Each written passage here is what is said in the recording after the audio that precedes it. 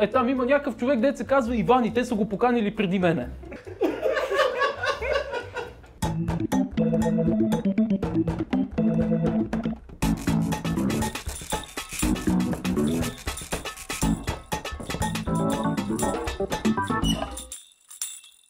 Мъци, здрасти! Здрасти! Какво ще изготвиш днеска и що ще ни го готвиш това? Ще готвя пържени кюфтета, които току-що някой ми подаде от апаратната, че трябва да наричам лисичи кюфтета. Така че днес ще правим лисичи кюфтета. Това не е първият път в този канал, в който виждате лисичи, е, пържени кюфтета. Те ще бъдат съвсем класически, но за разлика от предишния човек, който правеше, ще бъдат по-добре направени. А защо ще бъдат по-вкуси? Правил си друг път, така? Правил съм много пъти, аз много готвя. Те ни трябват за тези пържени кюфтета кайма, една глава лук, трябва ни магданос, трябва ни хляб. Паралелно с този хляб ни трябва и тази галета, като хората сигурно не знаят обаче галетата всъщност е млян сух хляб. Но ни трябват и двете. Трябва ни едно яйце, може и повече. Ма ти как стана така, че започна да се занимаваш с YouTube, братле? Ми, съвсем така спонтанно почнах да качвам клипове. Първият ми клип беше много смотан. И следващите. Първите две-три години всичките ми клипове бяха много смотани. Може би затова не съм се развил е така да изведнъж. Преди да продължим, трябва да си измия ръцете и да кажа на хората, че преди да готвите, трябва да си миете ръцете. И докато готвите, също трябва да си миете ръцете. Трябва ми малка купичка, в която да накисна хляба. За да се направят тия кюфтета, първо трябва малко хляб да се начупи на малки парченци и да се накисне в вода. Да, малко буламачно, така го правят бабите от едно време да. и ние така трябва да продължим. Иначе за какво са живяли? Като станах ютубър, да. още някъде в самото начало, като станах ютубър, това беше 2017 година. Не, може би не е станало тогава, но ще го разкажа, все едно е станало тогава. Тък му станах ютубър и в нашото училище, то аз учех в малко така позападнало училище, няма сега да казвам, трето е. И в училището познай кой дойде да пее на някакво откриване. Васил Найденов. Не, Близо е. Група скандал. Дойдох, аз тогава не отидох на въпросното откриване. Аз тогава, смисъл, някакво събитие или напълно какво беше, аз тогава не ходех много на училище и нямах представа какви са тези хора. Но мисля, че ги видях по коридорите на училището, така че тогава за първ път видях Тото и Лъчо. А, значи бях 11 клас, тъкмо бях почнал 11 клас и започнах да качвам клипове. Но това не трябва да го разглеждаме като нещо, кой знае колко сериозно или изобщо сериозно, защото то не беше. То, какво, снимаш клипчета, качваш ги, правят някакви такива много къси гледания, то тогава всеки правеше много къси гледания. А ако събираш, да кажем, 10-20 хиляди гледания през 2014, това значи, че ти си Емил Конрад. Противно на сега, тогава това означаваше нещо много по-епик. Тоест, тогава нямаше някакво е, особено значение дали си ютубър или не си. Беше като да си направиш профил в във Фейсбук. А все още има такова вярване, че ютубърите не изкарват пари. Сега зависи кои са ютубърите. Де някой ако качва поведнъж месечно, нормално да не изкарва пари, нормално рекламодателите да не искат да пускат реклами в неговия канал. Колко често трябва да качваш клипове, за да изкараш пари в YouTube? То не е само до самото качване на клипове, защото ти може да качваш клипове и всеки ден, обаче тия клипове, ако правят по много малко гледания и имат много малко watch time, защото важното е, така хляба е готов, за да изкарваш пари конкретно от рекламите от YouTube, което се нарича в нашите среди монетизация, нали знаете? Всички ли знаете? Ти! Ако качиш примерно песен, която има 3-4 минути, хората ще я гледат по доста по-малко от 3-4 минути, защото ще превключат на следващата така нататък. Докато ако качиш някакъв клип, както в моят случай, половин час, 40 минути, и а, задържиш вниманието върху, върху този клип, средната му продължителност на гледане може да стигне а, 50%. Пак трябва да се измия. Тия трохи, какво да ги правя са? Добре, а кое беше първото ти видео така, което примерно малко повече избухна така или имаше събра по-голям интерес? Моето първо избухване, за което аз мога да се сетя, е на един клип, който а, направи 2000 гледания за първия ден. 2800, извиняй. Какъв беше този клип? Пародия на съдби на кръстопът. Това е много надълбоко в моята душа, още от, от много отдавна. Тук му бях започнал няколко месеца преди това бях започнал с YouTube и за мен тия 2800 гледания за, за първия ден бяха много, защото обикновено бяха 700 или 1000 гледания за първия ден. Така че за мен тогава това е било е бахти избухването. А то нали не е било. Слагаме каймата тук, опа. Поздравявам ви за остротата на ножа. Не знам какво толкова да говоря за началото на този канал, защото той изобщо не беше интересно, изобщо не беше епик, както ти искаш да ти разкажа нещо. Мога да си измисля, ама не сега, защото бе лук. Не мога да си... Как продължи тогава? Нещо за пари заговорихме. Аз Да. обичам разговорите за пари. Какво ме попита за пари? Кога започна да изкарваш пари от YouTube и кога разбра, че може да се изхранваш от това нещо? Ами, последната ми година в университета се изхранвах от това нещо. Парите от YouTube, от към реклами и така нататък, вече горе-долу ми стигаха, за да се прехранвам от това. Иначе след това, може би, когато започна това с лисиците, защото тогава дойде големия watch time. Кое ти е любимото ядене? Значи аз харесвам такива а, български яденета. Може би не е много готино, може би е по-готино човек да каже, че харесва филе миньон, че харесва този Wellington стейк, нещо такова.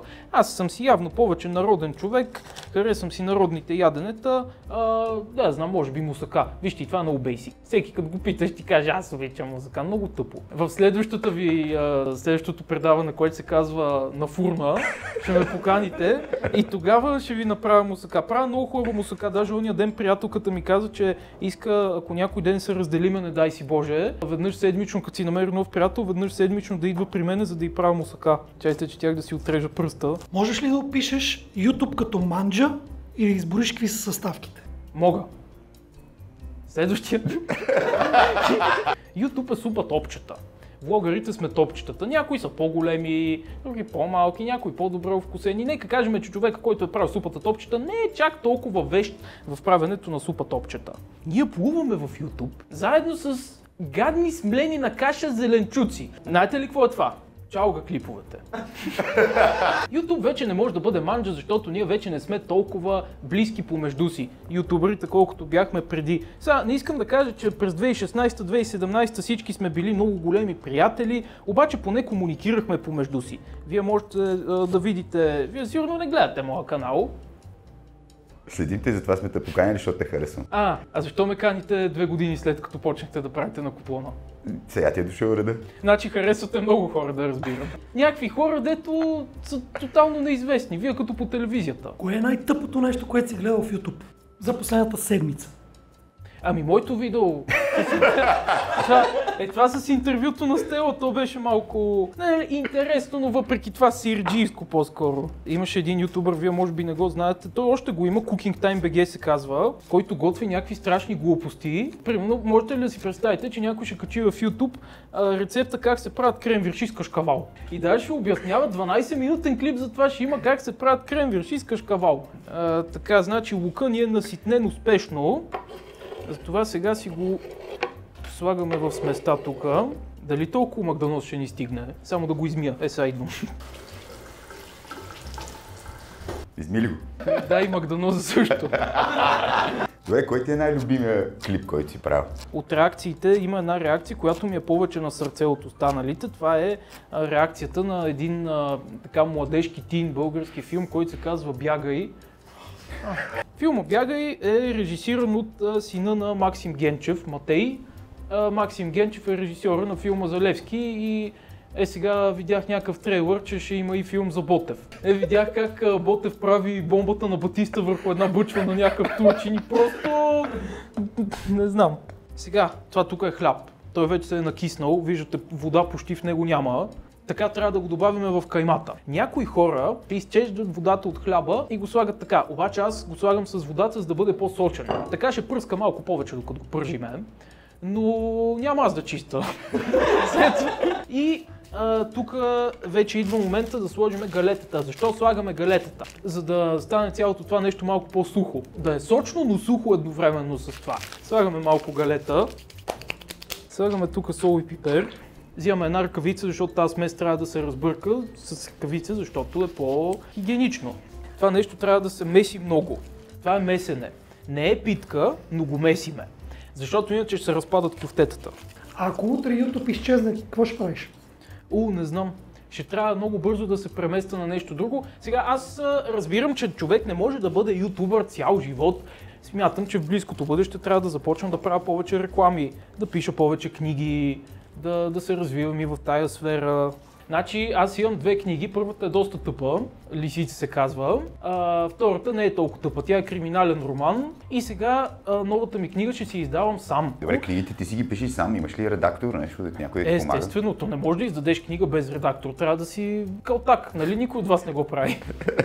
не е професионално да издадеш книга без редактор. Книгата трябва да мине през, през редакция. Винаги може да допуснеш някаква правописна, пунктуационна грешка. Това не е ненормално. Аз даже първата книга, когато си я написах и я дадох на редактора, това доста бързо стана. И той ми връща, да кажем, първата глава и тя е някаква цялата червена. И аз се смятам за грамотен, не допускам толкова много правописни и пунктуационни грешки. Имаше супер много неточни думи, които съм сложил някъде. И аз някакъв умрях от срам, чувствах се едно съм в първи клас и госпожата ми е редактирала съчинението, защото то цялото на нищо не прилича. И му викам, добре бе, аз ли съм тъп или ти?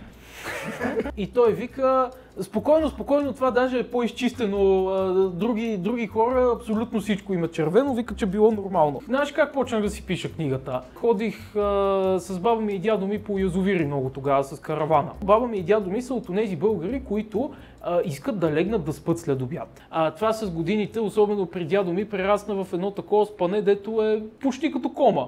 В смисъл, буквално ляга в, а, в 12 и става в 6 и после «О, не мога да спа през нощта. И, и на мен ми беше скучно, докато те спяха и си казах, айде ще пиша книга. Така, ти си сега. Така, Как се ползва индукционен котлон? 5-2. Тук е малко чернобилско. Олеле, то се покачва. Този котлон се пуска само когато има тиган върху него. Да. има степени. Избери си една степен и на нея. Еми пише F5. Ми виж колко е макса. А, това е F5, това е финишър на Брок Леснер, на това ще готвиме. Даже май ни е много орлето, ма нищо. Нали няма аз да плащам. Мъци 10 бързи. YouTube или TikTok? YouTube. Head and Shoulders или сайт така само с гребена? Head and Shoulders. Окей. Ама от него има някакво вярване сред българския народ, че от него се получава пърхот, така че аз избягвам Head and Shoulders. Да, и следващия. Малки или големи? А, малки, Пържено или печено? пържен. WWE или AEW? Е WWE. Той EW е, каквото е било отритнато от WWE. Роман Рейнс или Скалата? Ами, скалата. Павел Колев или Чарли Танев? Е Павел Колев. Дупе или цици? Дупе. Ракия с салата или бира с картофки? Бира с картоф. Лисицата или чифт? Чифт. Съдбина кръстопът или игри на волята? Съдби на кръстопът. Тихо бе. Се оттак. Добър звук. Може да познаеш вкусното кюфте по звука. Правим кюфтетата малко по-малки и по-тънки, защото иначе по средата няма да се изпържат. Чайте, че един косъм ми влезе в окото. Сега па стана много. Може ли някой да го включи на по-висока степен? Ми не, ти си. А, вземете. А това ли ти е най-успешното видео с, с Тео? Ами не знам докъде ще стигне, но за момента мисля, че да. Мисля, че това ще ми бъде най-успешното видео и даже може би ще се ориентирам към, към такъв тип видеа. Който от вас скъса с гаджето, да дойде при мене и да разкаже. Секунда.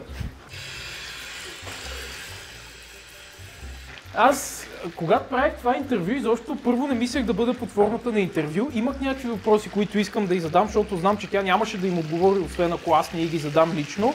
Обаче не съм мислил това да е като интервю и даже през цялото време се чудех дали пък не е редно да си измисля някакъв сценарий за това. Да не би да пропусна нещо, защото имаше много въпроси, които исках да задам за Щерю Щерев, за новия приятел. А, обаче така и не го направих и то накрая взе, че стана много добре. Аз имам а, много такива а, ласкателски коментари, че нали, Мъци, много готино интервю, браво, ти си топ журналист, ти си новия Мартин Карбовски, много по-добър и не си спал с Мекс. Е, такива някакви неща. така че, може би, А ще ти продължа. с Мекс? Аз ли? Не, не помня, сигурно не съм. А ти съобразяваш ли се с твоите аудитория? Ами няма как, толкова не се съобразяваш. Има много ютубъри, които през годините са казвали, мен не ми, не ми пука това дали ще се гледа или не, аз го правя за себе си, не го правя за хората, който иска да гледа, който ми е верен фен, ще гледа. YouTube е, освен всичко, и бизнес. В бизнеса един бизнесмен трябва да прави всичко възможно да удовлетворява нуждите и желанията на своите клиенти или на своята аудитория, както в нашия случай. Имаш ли мембари? Има мембъри, обаче много малко. Но ние сме в България. Хората не обичат да дават пари за нещо, което не могат да изядат след това. Ти как наричаш твоите мембери? Миначи а, имаше две нива. Едното беше за 2 лева и се казваше Селтак, и то все още се казва така, а другото беше за 40 лева и се казваше Лисица. Като това за 40 лева имаше а, безплатна тениска всеки месец, обаче така се случи, че имаше няколко човека, де си бяха взели лисица, аз не вярвах, но условието беше, че на първо число всеки месец аз ще качвам в комюнити таба един пост, под който те трябва да си напишат а, мейлите и след което аз да им изпратя на мейла информация как си получат тениската. Обаче имаше 4 човека в това ниво и само едно момиче се свързваше с мен да си получава тениската. Затова махнах това ниво и остана само някакво, дето то, то, какви пари по 2 лева на, на месец на мембър. Да. Аз това го кръстих бакшиш, защото пък имам и едно такова много а, нетипично и неприятно отношение към бакшишите в България. Ние трябва да се съгласите с мене, момчета, че а, бакшишите са нещо, което в България даваме само на такива длъжности, които а, има стандарт да им даваме бакшиши. Примерно на сервитьорка, на, на, на бакшиш, да, на таксиметров шофьор, е на такива хора.